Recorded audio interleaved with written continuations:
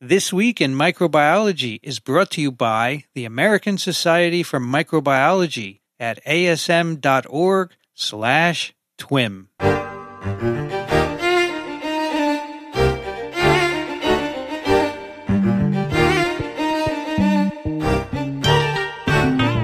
This is TWIM, This Week in Microbiology, episode 306, recorded on March 7, 2024.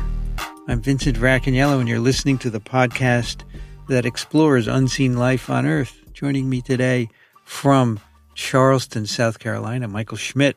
Hello, everyone. And Charleston has now gotten Chamber of Commerce weather. We are beautiful mid 70s. The sun is out and spring has sprung. So my nose is running like a drain. The pollen is everywhere. Here in New York, it's 11C and Ooh. cloudy. So joining us from St. Louis, Missouri, Petra Levin. It's good to be here. We have cloudy and probably about 50 degrees Fahrenheit, so not too different from New York. Hmm. And uh, yeah, we had 70, mid 70s earlier in the week, and my allergies are also going a little crazy. Allergy um, season. It, right. So it begins. And so it begins. Well, it's, it doesn't last all summer, so it, right? It ends after the spring, presumably. We're praying. We're praying. All right, for you today, we have a snippet and a paper, and Petra's going to tell us about our snippet? Okay, so this snippet is a paper from last year that's entitled Natural Products from Reconstructed Bacterial Genomes of the Middle and Upper Paleolithic.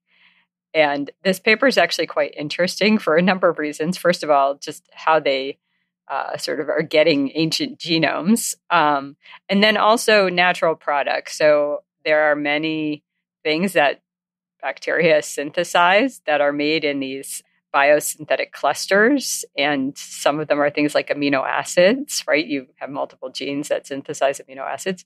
So these are chemicals and some things that we like to have these variations in natural products we can get from different organisms come from these biosynthetic clusters, including antibiotic or antibiotic platforms. So this paper is by Martin Klappner and I'm not going. to It's a very a relatively long list. So Martin Klappner and Alexander Hubner and Anand Ibrahim are the sort of sort of first set of authors, and the senior author on the paper is Pierre Stallforth, and they're from the Leibniz. The Department of Paleo Biotechnology at the Leibniz Institute for Natural Product Research and Infection Biology in Jena, Germany. And this paper, I think, is cool because normally when I think about getting natural products, a lot of people get these, uh, they isolate organisms from the soil. For example, the actinomycetes, which make streptomycin and some other antibiotics, also make some other excellent uh, sort of chassis for building other chemical bioactive chemicals on. So those you just dig in the soil at different places to get these organisms out. Uh, they actually, instead of sort of doing a more standard isolate from the environment system, they actually go and they look at uh, teeth. They're looking at sort of the sort of harder stuff that forms on teeth from samples from um, so the dental calculus again that's the stuff they scrape off with that pokey thing at the dentist every six months um, of 12 neanderthals and 52 anatomically modern humans ranging from 100000 years ago to the present day and then they reconstruct the metagenomes of these of the organisms they find. So they find the DNA. The older stuff is more damaged than the newer, obviously. Um, but then they reconstruct these genomes and then they look for biosynthetic clusters, clusters of genes that make these different chemical compounds in the genomes of the ancient bacteria. So there's a couple things going on. First of all, isolating bacteria from these uh, sort of archaeological uh, samples, and then the metagenome reconstruction, which is always quite interesting. How do you decide what goes with what? And then kind of figuring out which the biosynthetic cluster is. Is it something that's in new organisms or, you know, modern organisms or only in these older organisms? And then trying to make that new natural product um, since these organisms don't exist. Basically, uh, they're combining tools for metagenome assembly with computational tools for predicting what's a biosynthetic cluster. And that's kind of how they get there. But they have to start somewhere. And so they start by scraping uh, the dental calculus from these. Uh, they actually they didn't actually start these these are older data sets they look in these data sets they call them metagenomic data sets uh, from essentially Neanderthals and uh, more modern humans. And the human ones date Neanderthals are 100,000 to 40,000 years ago. The human ones date from 30,000 to 150 years ago. And then they have 18 present day humans. And they actually get a good number of reads for all these guys. Um, and they had, um, you know, longer contigs, better reads with the more modern humans, which makes sense. But they were uh, actually, they got pretty decent assembly of these metagenomes despite them being so old and also from teeth. So they, so they have these metagenomes. And I actually learned something about metagenomes in general that often when they do these metagenome assemblies, they don't get the ribosomal RNA genes. Um, I possibly because they're too long in the short reads or they're hard to assemble because it's hard to know with conservation what's from what? What's um, what? Um, How what's old what, they right. Is this from a modern human or a Neander? I mean, because they're so well conserved, right? They look at the overlap between what they they first of all assemble these genomes and they find one thing that i mean and they stick with it it's actually really interesting they find um, bacteria that are chlorobium in the teeth of the ancient samples so one of the metagenomes they get that they're most interested in are these chlorobium. And so these are photosynthetic organisms. They're not like something you would expect to find in the mouth where hmm. obviously there's less light unless people are walking around with their mouths open all the time, which I doubt anybody ever did. So they have to speculate about that. And they think maybe they were drinking contaminated water, which makes sense. Maybe they were hmm. drinking water that had, uh, you know, you could imagine green algae or mm-hmm. these or they could have been drinking green algae as a nutritional supplement, like many people in health clubs do. Exactly. Maybe they were having spirulina smoothies. Yes. but chlorobium smoothies. Maybe. But in any case, I found that kind of interesting that that's what they went after. But I think it was because those were the genomes that seemed to have diverged. Um, they they found some other kind of interesting divergent things, but those ones are the chlorobium and they were basically in addition to not being typical of microbiota in the mouth, they were also definitely a clearly separate clay group of bacteria from the modern chlorobia. So and it should be pointed out that chlorobium is a photolithotroph, so it uses both light and rocks. It, it basically grows on sulfide. Hydrogen sulfide is its electron donor as mm-hmm. opposed to water in normal photosynthesis. So it's really pretty unusual. And whether or not where all this sulfur is coming from quite intrigued me. And I sort of, when you sent the paper, I sort of was panic stricken because I haven't told my dental students about chlorobium in the oral cavity. And I broke out into flop sweat going, what did I miss? And fortunately, I don't think I missed anything. No, but that water must have tasted terrible. Oh yeah, it, it must I mean, have actually, been like really Florida, sulfury. Yeah, so Florida, parts of like South Florida have very sulfury tasting water. So I'm imagining that's, that's where drinking. it came from. I mean, it won't hurt you, but it's not the most appealing thing. We've all been to Disney World and we've drinking the water from the water fountain because we refused to pay four dollars for a bottle of water. Four dollars? Oh my gosh, that's cheap. Yeah, I, I would actually pay 10 not to drink sulfur water. yes. Um, in any case, they find these. So that was kind of weird, but also uh, interesting. And they make sure that it's old DNA. They look for essentially a certain number of lesions that happen over time in DNA, and they can have a match set from other ancient DNA that they call securely oral taxon.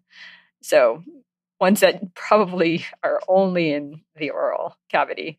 Um, and they they are the right age. So that's kind of how they confirm that what they found is not a contaminant, although it would be a little odd to have chlorobium as mm-hmm. a contaminant. And it seems to be its own monophyletic clade. So it's related to a modern one called Chlorobium limicola. Um, but again, it's its own special clade. And this is actually shown in figure 2A. And so uh, they now have it. They can pretty much show that it's different, it's separate, it's ancient. And then what they do is they use a bioinformatic tool called anti smash to go through the metagenome to try and identify biosynthetic genes that make secondary metabolites. So, so sort of these complex, more complex molecules that could be useful. And they find four different biosynthetic clusters, which make butyrolactone and terpenes were the most prevalent. So they're making these molecules, which are useful. Um, they've been found in streptomyces, basically almost every biosynthetic thing that's made out there. You can find in, in the streptomyces, again, these soil bacteria, uh, but they haven't been found in the chlorobialis. Um, they again confirmed that the contigs that they were looking at, these sets of DNA, actually were age related by looking for DNA damage, and they are from this group. So that's pretty interesting, actually. And they're probably identifying them because of the codon bias for the proteins. Because chlorobium, being a photolithotrope, has its own set of tRNA predilections for amino hmm. acids, right. as do the others. Right. So they can say it's also probably in the chlorobialis because of the codon bias, but they also can age match it. And again, they're mm-hmm. really, whenever you do these ancient DNA metagenomes, you get so little material. I think you're just always worried about some kind of contamination. Um, so it doesn't seem like that's the problem. Okay, so they have these metagenomes. They're ancient. They're from tooth samples, which is not unexpected, which is unexpected. Um, so the next thing that they want to do, and again, this is what you would do if you had a, a non-cultural sample, even a modern sample.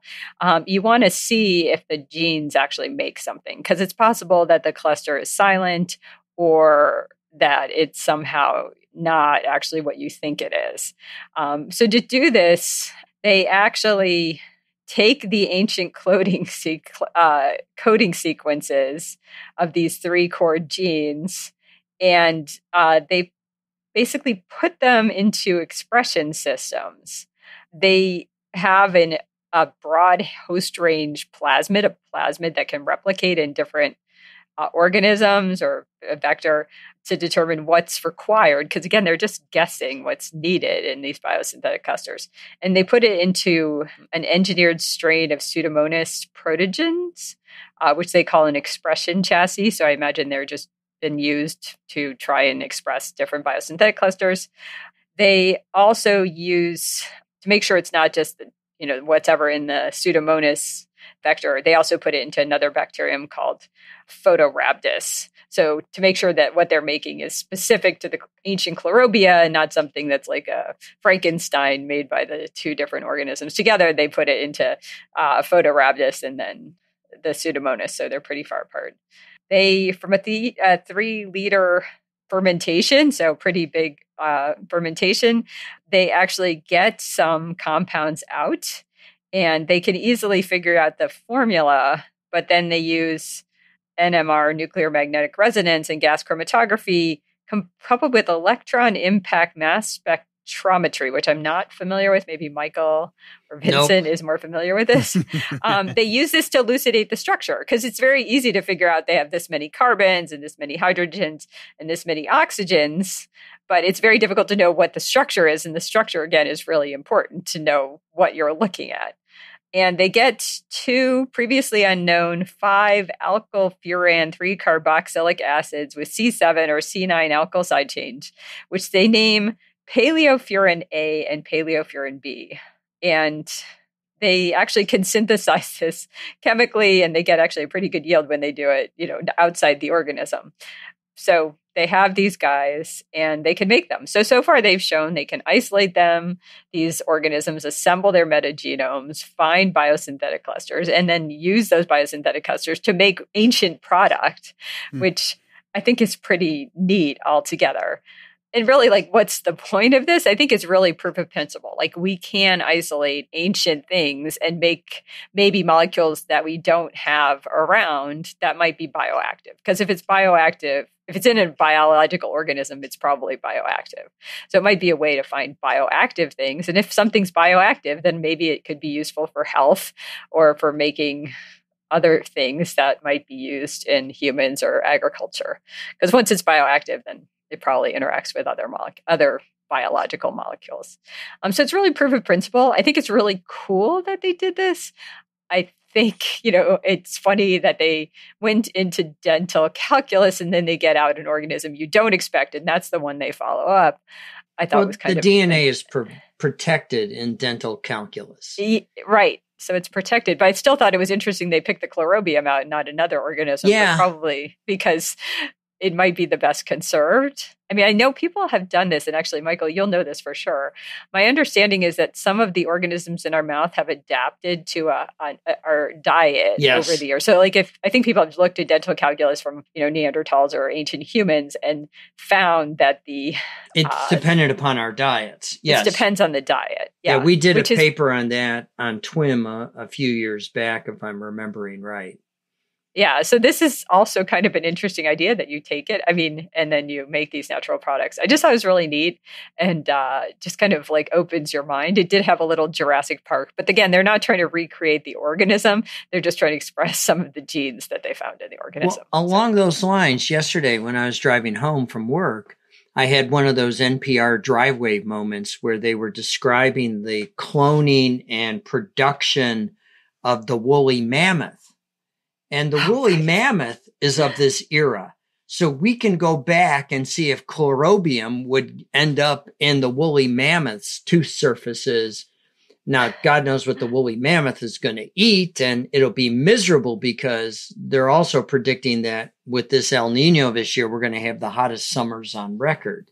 Hmm. so the woolly mammoth, I don't think will be all too pleased. I don't think the yeah the woolly mammoth is going to be surprised and not all too pleased. Yes, are we going to yeah. also do the saber tooth tiger? I was thinking we must be able to get.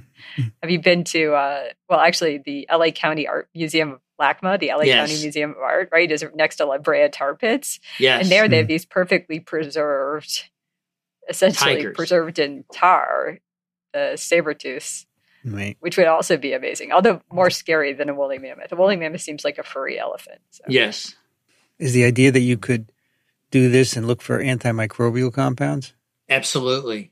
I think antimicrobials, but you can also use um, some of these compounds are useful in other industrial purposes or to make chemicals for surfactants. I don't know of this particular class, but um, yeah, there's a lot of molecules that bacteria can make more easily.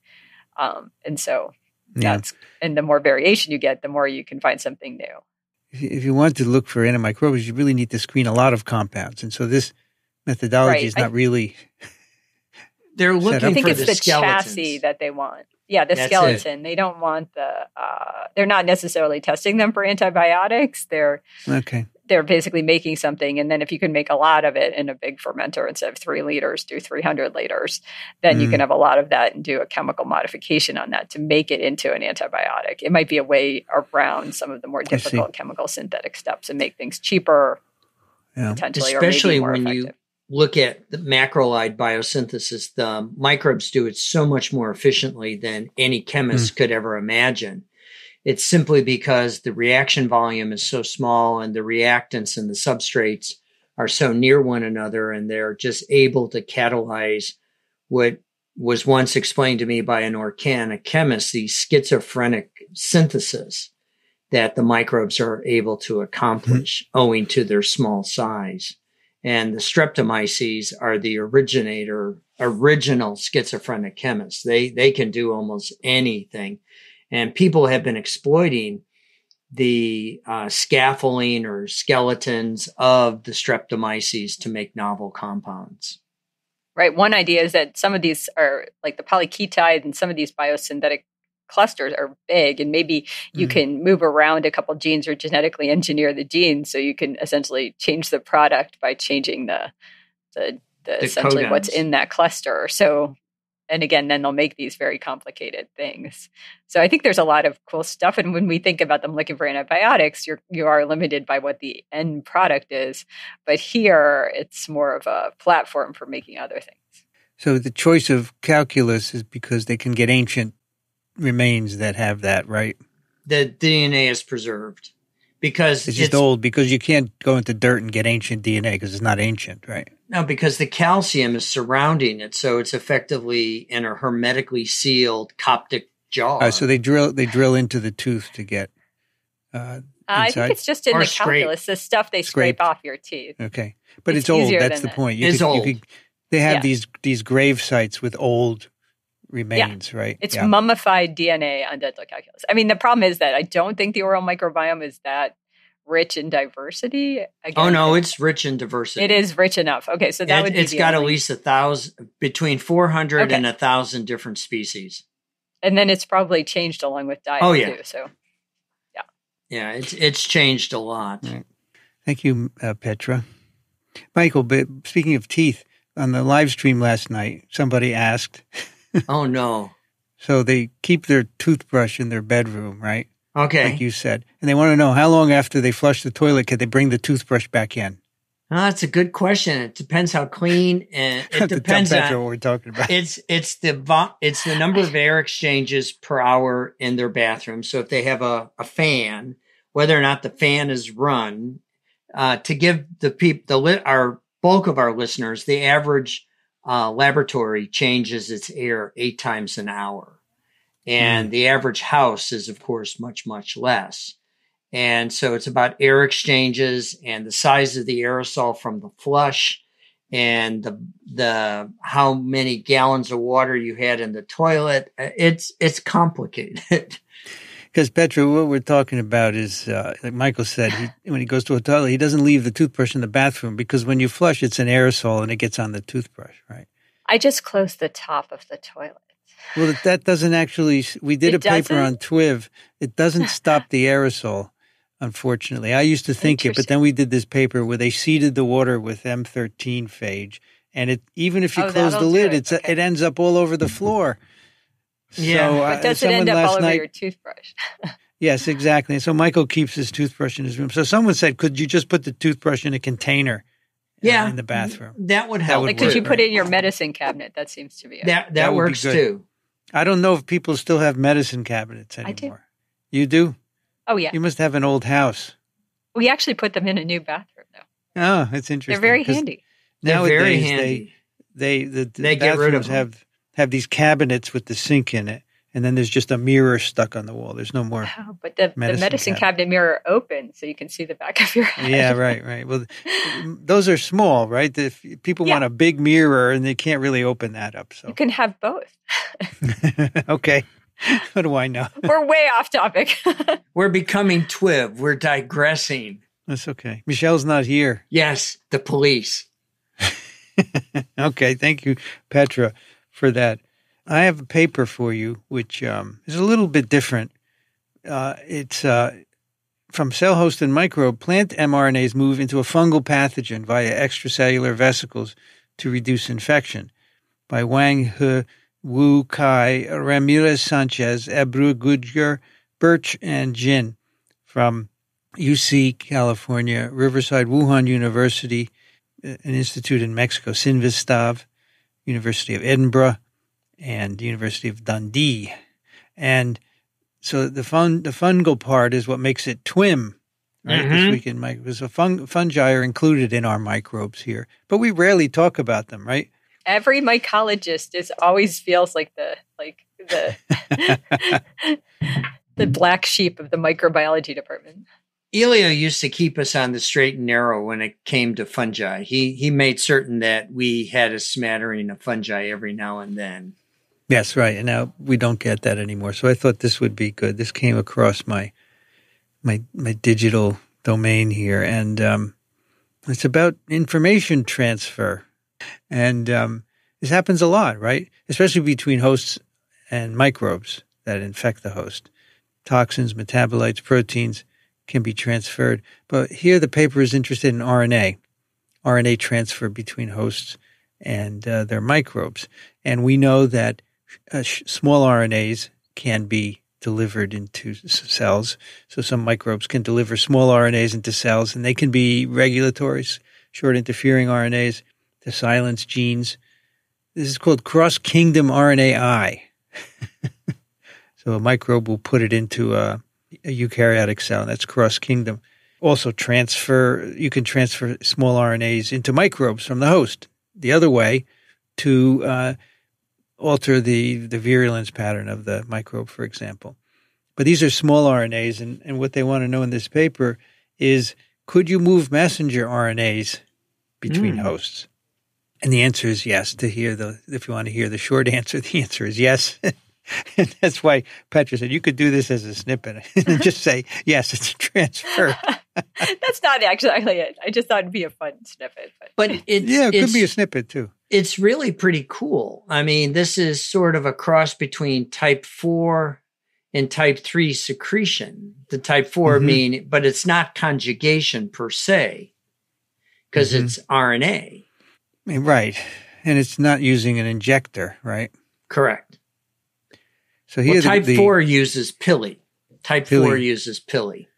And type what uses the injector? Six? Type 3 type, type 3 uses the injector. I mean, there's just no way to know unless you memorize it what three and, and four is, right? It also reminds me, though, of um, bacterial outer membrane secretion. Absolutely. Vesicles, OMVs. Yeah. Yeah, they make vesicles too, right? Oh, yeah. Yeah, a lot of them. Yeah. What's so old is new to the microbial world. Well, I was going to say nothing is, has been invented by eukaryotes, right? It's all, it's all been stolen. Um, the carriers in this case are extracellular vesicles so this is going to be um, from a plant, and they make extracellular vesicles. These are small membrane vesicles that are released from cells, and they they have been found in plants and, and mammalian cells. They have a lot of molecules in them. They have proteins, they have lipids, nucleic acids, they have metabolites, and they are how cells communicate with each other.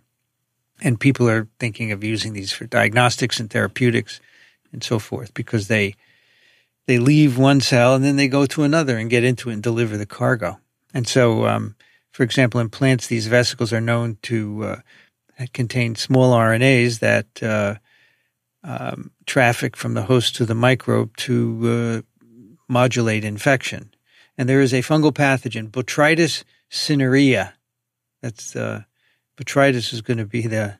Uh, isn't that like noble rot mm-hmm. on grapes? Botrytis which uh, causes gray mold disease on many plants. And uh, these plants uh, try to put small RNAs into the botrytis by uh, by these extracellular vesicles. Uh, also, we know there's a fungal pathogen of of maize. It's called Ustilagomydis. Gosh, that's an old model organism, right? Mm-hmm. I've been hearing about that for years. That uh, makes extracellular vesicles with mRNAs in it and that's thought to uh, allow it to better establish itself uh, in in the plant. But uh, what they want to know here is whether plant extracellular vesicles can transport mRNAs, so something other than small RNAs, and can these mRNAs move from the plant to the microbe? Uh, are they translated into protein, and do they any do they do anything? Those are the questions that we're going to look at in this paper, and the answer is yes. they mRNAs do get into extracellular vesicles. They get into the fungal cells. They're translated into protein, and they uh, reduce uh, the growth of the fungus uh, in the plant. And this is a big deal agriculturally, right? Fungal Absolutely. diseases are a big problem.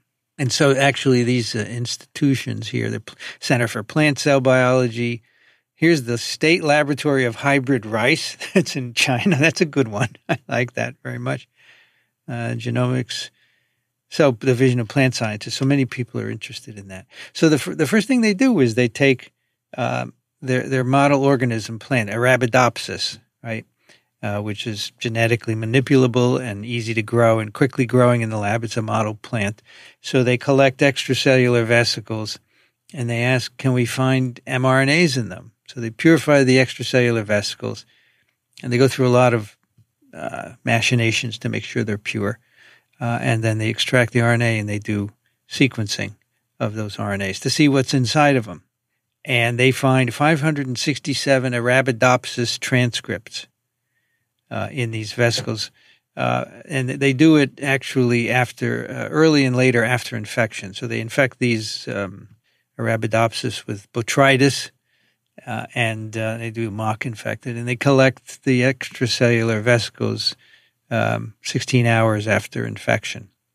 They can find 567 transcripts in these uh, extracellular vesicles at 16 hours. Thir- about 30% of them are actually induced after infection compared to uninfected leaves. And uh, they look at what these mRNAs encode, and they encode genes associated with biotic stress, defense responses, detoxification, uh, defenses to fungi, and and immune responses and so forth. So it makes sense that uh, they would be turned up. So basically, when you infect the plant with the fungus, you turn up the presence of mRNAs in these extracellular vesicles. Now there is um, there's there's a gene there there's several genes in uh, plants that regulate the production of extracellular vesicles, and so there's uh, there are tetraspanin genes TET TET8 and TET9 that are seem to be important in producing these. And if you make mutant mutations in these genes, you make fewer extracellular vesicles. So they do that experiment also to show that these mRNAs that you normally see induced after fungal infection, they're no longer they're, they're hardly detectable if you do that in a in a TET8 TET9 double knockout. So they say looks like there's mRNAs in uh, extracellular vesicles besides small RNAs. Uh, and then they do a series of broccoli experiments, which is not the plants, but they use a, a an imaging system, um, a fluorescence imaging system to look at uh, the mRNAs. So they pick a couple of uh, mRNAs and they tag them in the way so they can look at them in these extracellular vesicles. And so um, you can purify the vesicles. This time they're using Nicotiana bentham- benthamiana because that is genetically manipulable. You can make transgenic plants pretty easily with those. And they, they put in um, versions of these uh, plant proteins that, that can be detected by the broccoli fluorescent system. Actually, it's a fluorescent RNA detection system for RNA imaging. And they can detect them in um, in plants by this method. So they look at two genes in particular, SAG21 and APS1, and both of these are found in plant mitochondria. SAG21 is induced by infection with B. cinerea uh, and also many other bacterial and fungal pathogens. And um, if you make a transgenic plant that overproduces SAG21, they are, they are less susceptible to infection with B. cinerea and also Pseudomonas syringae, syringae. Um, APS1, on the other hand, is induced by infection with B. cinerea. It, it seems to be uh, involved in biosynthesis of metabolites that are toxic to fungal cells. So, an antifungal protein is induced. So, they want to know if it's involved in B. cinerea infection. So, they make transgenic plants uh, producing these uh, mRNAs, so SAG21, APS1, and then they have a control and they can find um, the RNAs uh, in in the vesicles produced from those plants. So again, two two proteins or two mRNAs encoding proteins that seem to be involved in fungal defense are present in extracellular vesicles in uh, uh, in in the I plant mean, yeah, cells. They're they're going to a lot of trouble to show that there's correlation, like that mm-hmm, they're yeah. linked, because it, it's very hard to, with any of these extracellular vesicles, even the bacterial ones. It's very difficult to show that they're not just forming randomly, that there's a yeah. response pathway. And I think that's setting them up for one yeah. of their principal conclusions out of their discussion. And what they say is cross kingdom trafficking of mm. these mRNAs is more likely is likely to be more effective than trafficking of proteins for modulating microbial infection due to the ability of the mRNAs to be translated into many protein molecules inside the interacting microbial cells. Remember, back these mRNAs are plastic, if you will. They're they're able to be made into stuff, thus amplifying the the consequences. Yeah. Well, you know, I'm sense, right? wondering though, though, if you're putting it into Pseudomonas, right, you're not going to have the binding site that you're going to have. If you take a capped mRNA and you put it into a fungus, it's going to get translated. But if you put it into Pseudomonas, It's not. it doesn't work that way. No. Mm. That's right. So it's right. interesting. Uh-huh. Anyway, so now these mRNAs, including some antifungal uh, mRNAs, are in extracellular vesicles. Do they get into fungal cells? Right. Mhm. That's the next question. So the experiment is they infect Arabidopsis. they, they sorry, sorry. He's laughing because She's yawning. I think it must be boring. no, just Sorry. allergies. You're tired? Allergies. Allergies. That makes you tired? Really? It's not sleeping because of allergies. Oh, you don't sleep. tired. That'll do it. So they, they infect uh, Arabidopsis with B. cinerea, and then they um, so the, the B. cinerea are within the plant, right? Then they Mhm. purify the B. cinerea from the plant, and they look for uh, the presence of uh, mRNAs in the fungus, and they look for these SAG21, APS1, and a few others, and they can find uh, the plant mRNAs in the fungal cells. So they say this this indicates that they're taken up, and they do a lot of experiments to show that it's not just sticking to them or Mhm. something like that, right? And they have some other transcripts in the plant that are not usually found in the extracellular vesicles, and those are not in the fungal cells. So that's a nice control, right? So they're not just random mRNAs are being taken taken up. So they say this okay, full length uh, EV associated plant mRNA, mRNAs are transferred into fungal cells. They um, then do a nice experiment where they have plants that are TET 8, 9 knocked out, which makes fewer extracellular vesicles, and you get fewer plant mRNAs in those fungal cells when you do the same experiment. So it looks like this exosome pathway is delivering this. That's a nice experiment because it shows those are exosomes delivering the nice. mRNAs. Yeah. Uh, another experiment they did was to, you know, so they have transgenic lines of Arabidopsis. Now, now we're shifting to uh, Arabidopsis, and they are making tagged versions of these SAG21 and APS1 and a control protein, and they they take um, extracellular vesicles from those tagged gene expressing cells. So now they can visualize fluorescently the RNAs, and they add those to uh, the B. cinerea conidia in vitro. So they purify the extracellular vesicles, add them to the B. cinerea conidia, and then they can do their fluorescence assay to detect those um, mRNAs in the fungal cells. So more evidence that they're they're actually getting in there. And now, so this is all uh, kind of experiment, um, experimentally artificial situation. So what about during a natural infection? So I thought, oh, they're going to go out in the field and look for, but no, it's just an infection in the laboratory. So Yeah. they take uh, their transgenic Arabidopsis with their tagged uh, uh, mRNAs, and they isolate uh, B. cinerea from them. So this is a natural infection of a transgenic line, and they can find fungal cells showing fluorescence of these particular transcripts, right? Tra- SAG21 and APS1, and they can also find the full-length transcripts in there. So uh, that's what they call a natural infection. So they have a plant in the lab that's infected with B. cinerea, and uh, they can see this transfer. Uh, I guess you could you could take these transgenic plants and put them in a field and, and look at this, but people would probably get mad, right? That you Oh yeah. put a transgenic plant in a field in an open field. Oh my gosh, what could happen? Um, Well, but these are also are they Arabidopsis or they're um, the transgenics are yeah, these were Arabidopsis. yeah, too. that's The- not. They also just probably wouldn't do that in the field. They wouldn't do yeah. They're they're basically weeds also. Mhm. Yes. Why do a field when you can do it in a growth chamber? hmm Where it's much more controlled. Exactly. I mean, at some point you want to know if this happens in nature, right? Yeah. So you have to figure out some experiment to do. I don't know what it would be. Well, but- their fluorescence data is pretty convincing. If you look Yeah, at figure sure. four, uh, specifically panel D, it, it's pretty neat. no, it's fine. But It's I think it would be lab. worth looking at like a natural fungal. Um, we have somebody who works on powdery mildew in our department. Like you Mm-hmm. Mhm. could look at powdery mildew and look for plant derived uh, mRNAs in the powdery mildew pretty easily. I mean, it's everywhere. It's a it's a pathogen. You know, it's it's right.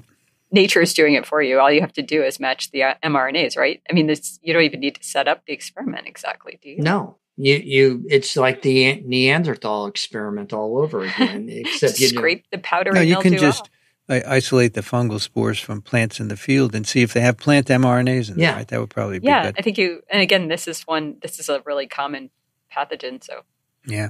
So next, they want to know if the if the mRNAs, which are in the plants from the uh, from the fungi, sorry, from the plants, are they translated into protein?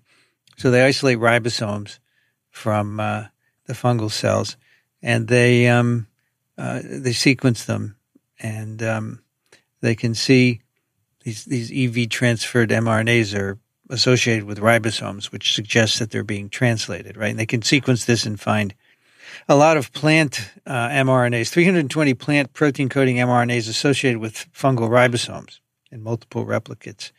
And again, the defense response genes are highly enriched here. Uh, they say that um, chloroplast genome derived mRNAs and nuclear photosynthesis associated mRNAs are not enriched uh, on these ribosomes. So that uh, th- there's no contamination, in other words, uh, when they're doing this experiment where they're taking ribosomes and sequencing them. Okay, so they seem to be ribosome associated. Mm-hmm. Um, when they say, well, this could be monosomes and single ribosomes and not polysomes, which is really where the translation is happening, right? So, hmm, polysome sucrose gradients. Wow. Ooh, that's old time religion. My gosh, that's old stuff, but people still do it. Oh yeah. And the cool thing now is that you can, so basically you have a sucrose gradient that goes from X percent, 10% say to 30% sucrose in a tube, and you can centrifuge extracts and the, and the polysomes will distribute through the gradient depending on how many ribosomes they have attached. Are loaded right? onto the RNA. And so you can purify, you can take different fractions of the sucrose gradient. You can actually uh, probe for specific RNAs and see how they're distributed. So what they do this here and um, they look for, they do PCR across these sucrose gradient fractions and they look for SAG21 and APS RNAs and they find them on the polysomes, which would be the heavier, the faster sedimenting Yeah.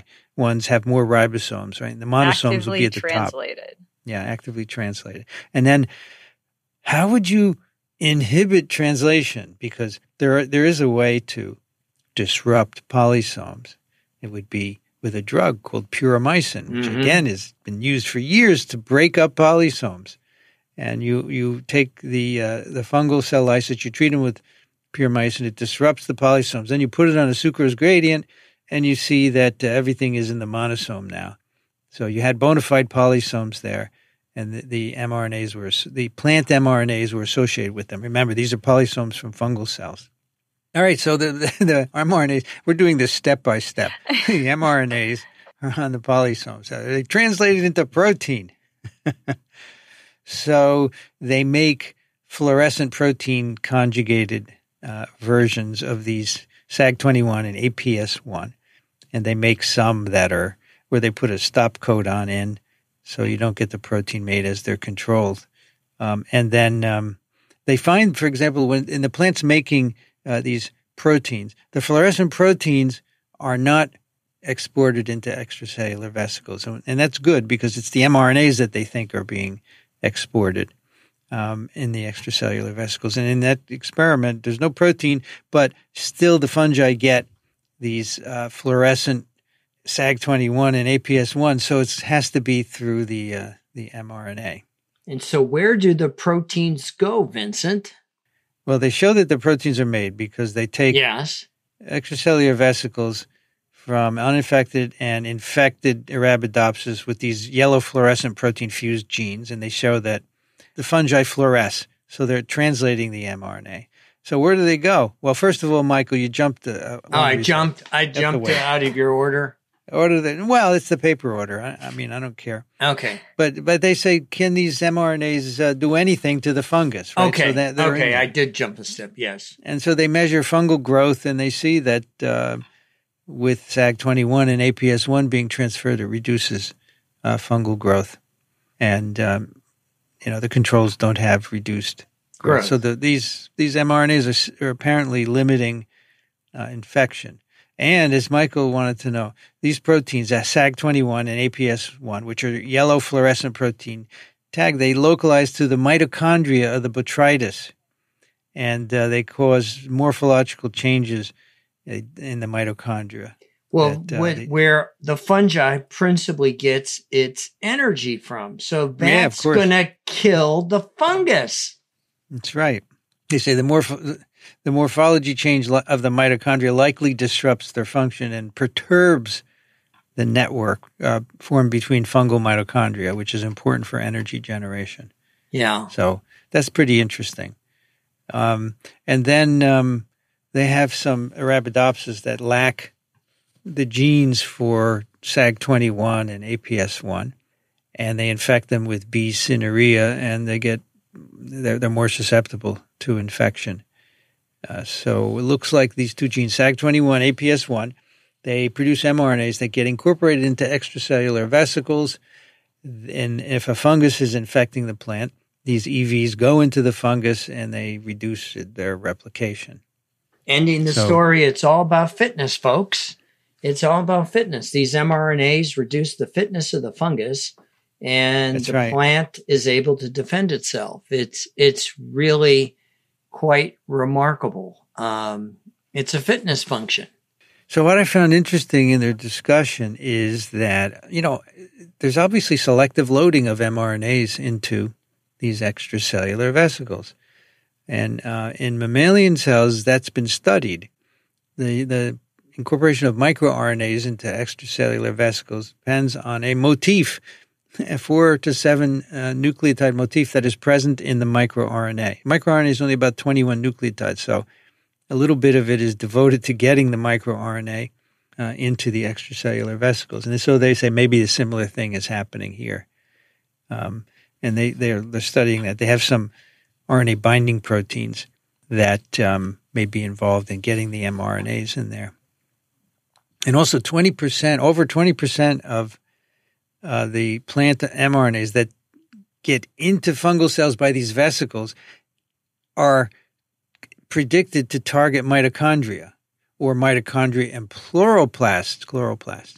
So that's quite interesting. So uh, that's a big target, as Michael said, and that's what many of these proteins seem to be doing, perturbing the mitochondria. Do you think they were originally for bacteria, Michael? I don't know. Uh, I, I don't. I don't. I don't know because bacteria, you know, their messages are inherently right. unstable. Mm-hmm. And I don't well, and think, also they can't translate these. So. No, they can't translate these. So I don't I don't think I think this is an adaptation to the eukaryotic protein synthetic machinery. Yeah, I agree. Now whether mm-hmm. or not they're mm-hmm. in the archaea, that's the question. But the archaea principally are protein they're a cross between eukaryotic protein synthesis and bacterial protein synthesis, but that's that's the the real question. But it's it's interesting, nevertheless, of how these RNAs are moving. And you know, I guess I'm too much of a prokaryotic biologist that I always think of mRNAs as being inherently unstable you know, with the 20 second to minute half life of an mRNA in a bacterium. I, I just remember purifying them in hot phenol. Oh, that's what I did. Boiling yeah, phenol. You poured fun. the RNA in. Oh my gosh. Oh, yeah, it was horrible. Horrible. I smelled like phenol for days after those experiments. It's a bad smell. Yep. Oh, yeah. Well, they say that uh, maybe this can help us uh, control plant diseases, right?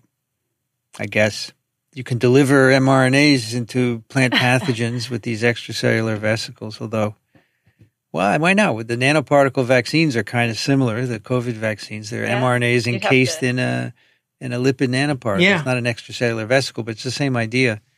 So um, would those plants then be labeled as transgenic? I don't know. I, I, mean, it's not incorporated into the genome. Right? No, so, I, so, so, but it's it's definitely using that we're vaccinating the plant, so to speak, with these yeah. vesicles. That would be the idea. So we'll see if it goes anywhere anyway. But I thought that was an interesting. It's very cool, Vincent. Thank you. Story, and it's got fungi, which we haven't talked about. So now fun, fungi. We have. There's a guy on the live stream who um, oh, loves fungi, and he always says you, you should have more fun fungi on Twim. Okay, more There's some good fungi. ones, I- I- I'll look for the fungi. Twim needs more fungi, just like Twiv needs more cowbell. More It's yeah. cowbell. Instead of cowbell and fungi, Is that, Yes, you could right, have- it's fungi. crypto. Uh, what's the uh, oh Canada? Candida's Always basically dull. It it just makes Really? thrush. It just makes thrush. I'm gonna get letters. It just makes thrush. Just makes thrush. The Candida people will be up in arms. Doesn't Oh it yes. also do? Doesn't it also do bloodstream infections? oh yeah, yeah, yeah. Bad, Candida especially is. if if you're immunocompromised. Oh, right? if it gets out, it's bad. Mm. It's I feel like it's the Staphylococcus of the fungi. It It's is. everywhere. It the is. staph of the fungi. it's it's got what it's got panoply of virulence factors and it has that dimorphic schizophrenia um yeah it's it's nasty and then we have this new uh, candida, right? The uh, orans, right? well there's orans there's KCI Oh yeah, Orans is interesting though, just because it's only a recent development. emergence Yeah. yes auris, Yeah. auris. Sorry, yeah auris, A U R I S healthcare facility associated. yes our our clinical microbiologist has put a sign over her door that she will not allow it into our buildings you know she doesn't want any patient to come in with it because she doesn't want it in uh, the patient care suites for fear it will get out of control Okay.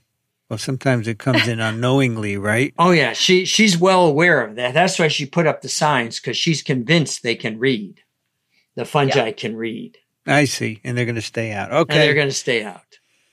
You have to meet our clinical microbiologist at the next microbe meeting. I'll introduce you to her, and you'll Okay. you'll get a sense of why she put signs on her doors and whatnot. Are you guys going to microbe this year? I am going to microbe. Petra's not. Well, No. we'll do a twim there, Michael, Yes, we will. and I'll do a twiv as well. All right, that is uh, twim 306. You can find show notes at microbe.tv slash twim. If you enjoy this kind of discussion, we'd love to have your support to continue. Uh, you can go to microbe.tv slash contribute. Your deductions are U.S. federal tax deductible because we are a nonprofit corporation. And if you love, if you want to send questions or comments, we'd love to hear them. Twim at microbe.tv. Michael Schmidt, Medical University of South Carolina. Thank you, Michael. Thanks, everyone. Petra Levin, Washington University in St. Louis. Thank you, Petra. Thank you.